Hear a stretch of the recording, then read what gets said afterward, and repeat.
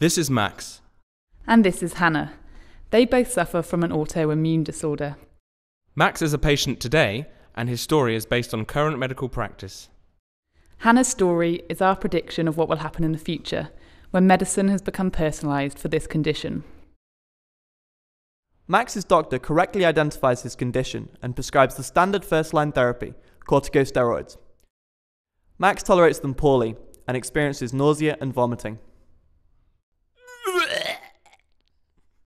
Max goes back to the doctor, who decides to revise his dose. However, Max still suffers adverse events. Max goes back to his doctor, who switches him to non steroidal drugs.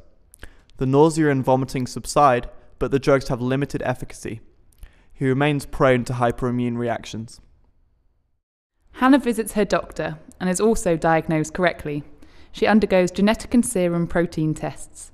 These establish the genetic cause of her problem and help identify effective and well tolerated treatments. Diseases with the same symptoms often have different genetic causes. Genetic tests allow doctors to identify the roots of the problem and tailor treatments to each patient. Further analysis of genetic markers can aid selection of a treatment with minimal side effects. Hannah's doctor prescribes a genetically tailored drug for her condition. The new medical technology allows the doctor to treat the patient, not just the disease.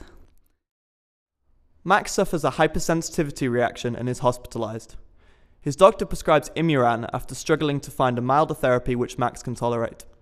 This leaves Max prone to cancers. Hannah's treatment is successful and well tolerated. Her condition is managed effectively.